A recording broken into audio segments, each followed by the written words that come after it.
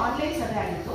Online ಸಭೆಯಲ್ಲಿ ಅವರು ಏನ್ ಮಾಡ್ತಾರೆ ಅಂತಂದ್ರೆ ಏನು ಕಾರ್ಯಕಾರಿ ಸಮಿತಿ ಸದಸ್ಯರಾದ ನಾವಿಬ್ರಿಗೂ ಸಹ ನಾವು ಮಾತಾಡ್ಬೇಕು ಅಂದ್ರೆ ಅಲ್ಲಿ ಅಲ್ಲಿ ಅಧ್ಯಕ್ಷರು ವೆಂಕಟೇಶ್ ಅಂತ ಇರ್ತಾರೆ, ಅವರು ನಮಗೆ ಮಾತಾಡೋಕೆ ಅವಕಾಶ ಕೊಡೋದಿಲ್ಲ. ಅವ್ರು ಹೇಳ್ತಾರೆ, ನೀವು ಕಾರ್ಯಕಾರಿ ಸಮಿತಿ ಸದಸ್ಯರಾಗಿದ್ದೀರಾ, ಇಲ್ಲಿ ಮಾತಾಡೋ ಹೋಗಿಲ್ಲ ಅಂತ. ಆದ್ರೆ ಯಾವುದೇ ಒಂದು ಆಜೀವ ಸದಸ್ಯರಾಗಿರೋದ್ರಿಂದ ಆ, ಪ್ರತಿಯೊಬ್ಬರಿಗೂ ಭಾಗವಹಿಸಿದಂತ ಪ್ರತಿಯೊಬ್ಬ ಆಜೀವ ಸದಸ್ಯರಿಗೆ ಮಾತಾಡುವ ಅವಕಾಶವನ್ನ ನಿರಾಕರಿಸೋದು ಅದು ಪ್ರಜಾಪ್ರಭುತ್ವದ ವಿರುದ್ಧನೂ ಹೌದು ಮತ್ತೆ ಬೈಲಾದ ವಿರುದ್ಧವೂ ಹೌದು ಅಂತ ಹೇಳ್ತೇವೆ. ಅದ್ರ ಗಲಾಟೆ ಆಗುತ್ತೆ ಆದ್ರೆ ನಮ್ ನಮ್ಗೆ ಆ, ಮಾತಾಡಕ್ಕೆ ಅವಕಾಶ ಕೊಡೋದೇ ಇಲ್ಲ. ಇದನ್ನ ನಾವು ಅಲ್ಲೇ ನಾನು ಒಂದು ಕಂಪ್ಲೇಂಟ್ ಬರೆದರೆ ಕಂಪ್ಲೇಂಟ್ ಬರೆದು ಅದನ್ನ ರಿಸೀವ್ ಸಹ ಮಾಡಿದ್ದಾರೆ. ನೀವು ಮಾಡ್ತಾರೆ ತಪ್ಪು ಅಂತ ಹೇಳಿ ನಾವು ಅಲ್ಲೇ ನಾವು ಅದನ್ನ ಪ್ರತಿನಿಧಿಸಿದೆ ಪ್ರತಿನಿಧಿಸಿದ್ದೇವೆ ಇದು ಒಂದಾಯ್ತು. ಇದಾದ ನಂತರ ಆ ನಂತರದಲ್ಲಿ ಸರ್ವ ಸದಸ್ಯರ ಸಭೆ ಆಗುತ್ತೆ ಆ ನಂತರದಲ್ಲಿ ಅಂದ್ರೆ ಮೇ ತಿಂಗಳಿನಲ್ಲಿ ಹದಿನೆಂಟು, ಐದು, ಎರಡ್ ಸಾವಿರದ ಇಪ್ಪತ್ತೆರಡರಂದು ವಿಶೇಷ ಸರ್ವ ಸದಸ್ಯರ ಸಭೆಯನ್ನ ಕರೀತಾರೆ.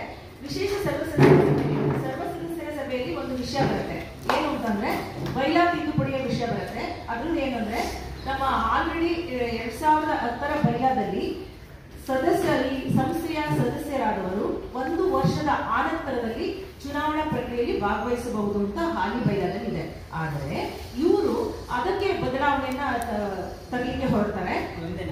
ಸದಸ್ಯತ್ವವನ್ನ ಸದಸ್ಯತ್ವವನ್ನ ಪಡೆದ ತೊಂಬತ್ತು ದಿವಸದ ನಂತರ ಚುನಾವಣಾ ಪ್ರಕ್ರಿಯೆಯಲ್ಲಿ ಭಾಗವಹಿಸಬಹುದು ಅನ್ನುವ ವಿಷಯವನ್ನ ತರ್ತಾರೆ. ನಾವು ವಿರೋಧಿಸ್ತೇವೆ ಆದ್ರೂ ಅವರು ಅದನ್ನ ಬಹುಮತದ ಆಧಾರದ ಮೇಲೆ ತೀರ್ಮಾನ ಮಾಡ್ತಾರೆ. ಅದು ಒಂದ್ ಕಡೆ ವಿಶೇಷ ಸರ್ವ ಸದಸ್ಯರ ಸಭೆ. ಸರ್ ನಮಸ್ತೆ.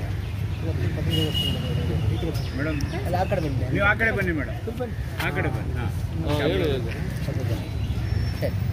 ಬಂಧುಗಳೇ, ಭಾರತ ಸೇವಾದಳ ಸಂಸ್ಥೆ ಗಾಂಧಿ ತತ್ವದ ಆಧಾರದ ಮೇಲೆ ಯೋಜನೆಗಳನ್ನು ಸಂಘಟನೆ ಮಾಡ್ತಕ್ಕಂಥ ಸಂಸ್ಥೆ.